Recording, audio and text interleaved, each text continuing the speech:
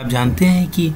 प्रशांत महासागर और हिंद महासागर मिलते तो जरूर है लेकिन कभी मिक्स नहीं होते इसलिए कि दोनों का कलर अलग अलग है अगर वीडियो अच्छा हो तो लाइक कीजिए सब्सक्राइब कीजिए मिलते हैं नेक्स्ट वीडियो में